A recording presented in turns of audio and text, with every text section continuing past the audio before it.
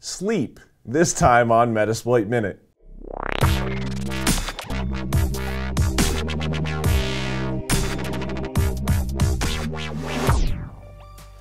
Metasploit Minute is brought to you by viewers like you. If you get value from this show and can spare even a dollar, please consider contributing at metasploitminute.com.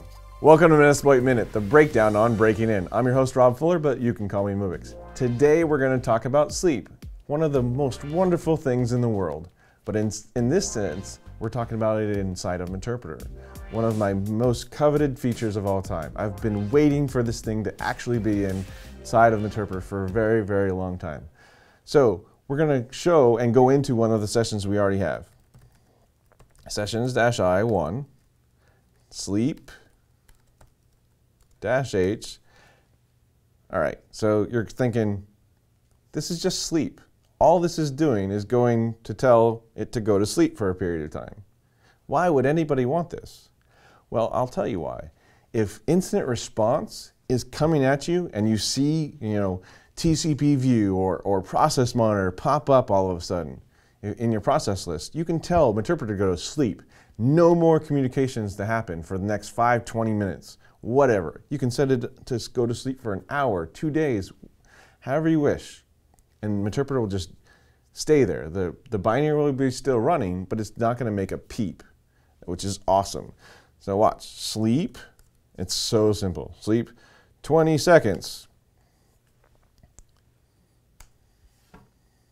So this is telling the instance of Meterpreter to go to sleep for 20 seconds.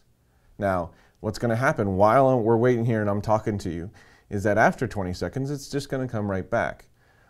Again, this might seem like a very simple thing, but it's incredibly useful. You can tell things to go to sleep for however long you want and, and just tell it to go away. And there it is. Welcome back. And we can continue on with our session from there after incident response has come and gone or the user has come and gone. Whatever, we just want to make it disappear, the communications disappear for a period of time. So that's really it. Tell me what you think about this episode. It's a really short one, so we're actually getting close to the you know Metasploit Minute by emailing at msf at hak5.org. And stay tuned to metasploitminute.com for more shows like these. Huge thanks to everyone who's supporting the show with likes or Patreon contributions. You can actually support us at patreon.com slash Moobix if you want to pitch in a dollar, five dollars, whatever. Every dollar goes to making this show just for you. I'm really, really grateful. So until next time, I'm Moobix and I'll be hacking till the cows come home.